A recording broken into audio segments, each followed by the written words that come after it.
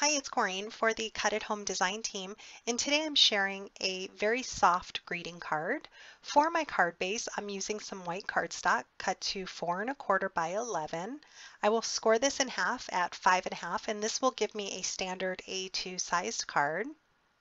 I also cut a mat for the front of my card from the same white cardstock to four and a quarter by five and a half.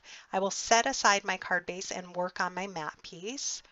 This beautiful decorative oval die is by Heartfelt Creations. It's one of my favorites and it is a very intricate die.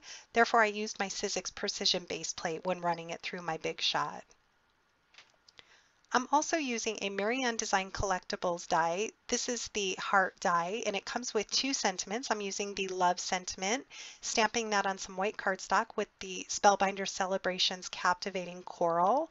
And I'll have all the products linked at Cut at Home's blog. So I'm stacking three of these hearts together.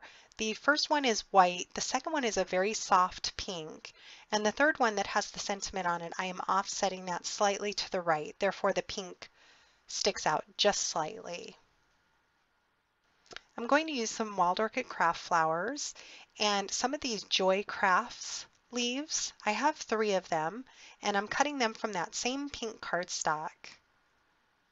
Again, I'll be using my precision base plate because these are intricate dies.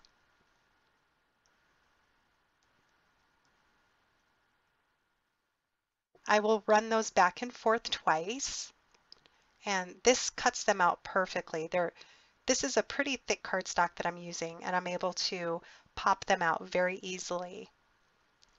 So I will let you stay tuned and finish watching the embellishment of the card. If you have any questions, please leave me a comment and check out Cut at Home's blog. I'll have all the measurements and products linked.